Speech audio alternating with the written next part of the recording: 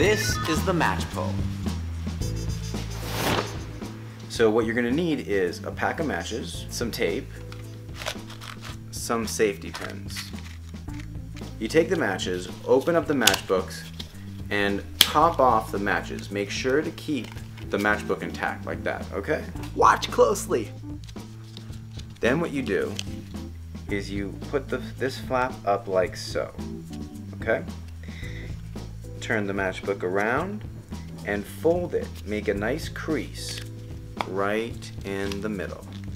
So you got something that looks just like this. Do the same thing on the other side.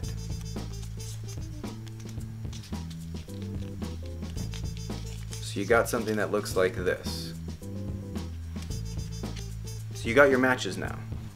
What you're gonna do is just take two and rip it all the way down, like so.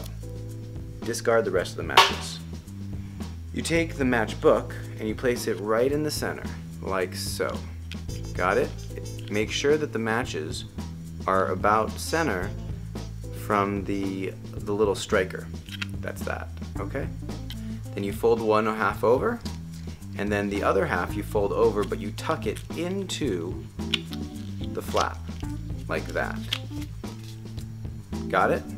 Now what you're gonna do is you're gonna take your safety pin and place it onto the match pull, like that. Then what you're gonna do is fold it over, like so, and tuck this part into the flap. You're almost done with your match pull. This is what it should look like so far. Now your tape comes in. What you want to do is take your match pull, place it, the tape right at the flap, like that. Pull it nice and taut, and wrap it around, just like that. You've got the best match pull there is.